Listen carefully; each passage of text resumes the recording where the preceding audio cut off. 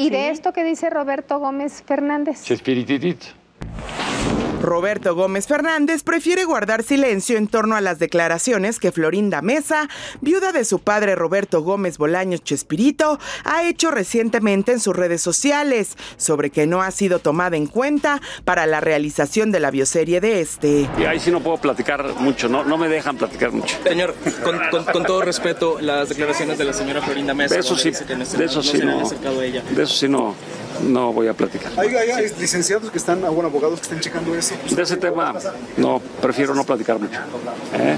¿Ya no hay Muchas relación con la señora Florinda? De ese tema, mm, cero. En contraste, María Antonieta de las Nieves y Edgar Vivar sí formarán parte de dicho proyecto, no así Carlos Villagrán. Sí, ahí estará, y también Edgar estará de alguna forma con cierta participación. ¿Nico estará también? Eh, no, no, no creo, no, este, no, no, no había acercamiento. Yo, yo, este, la verdad es que no puedo platicar yo mucho de ello. Y sobre lo declarado recientemente por Carlos Villagrán acerca de jubilar su personaje de Kiko comentó. Yo creo que, yo creo que es un buen momento, pero pues si les sigue dando, yo creo que, que en lo que respecta a mí, pues qué bendición que haya podido representar al personaje tanto tiempo, ¿no?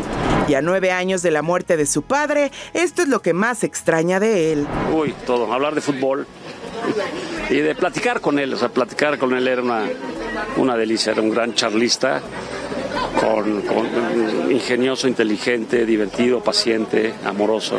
Roberto Gómez Fernández acudió al estreno a prensa de la obra Las mujeres son de Venus y los hombres ni más en la Ciudad de México. Para Ventaneando con información de Daniel Aguilar.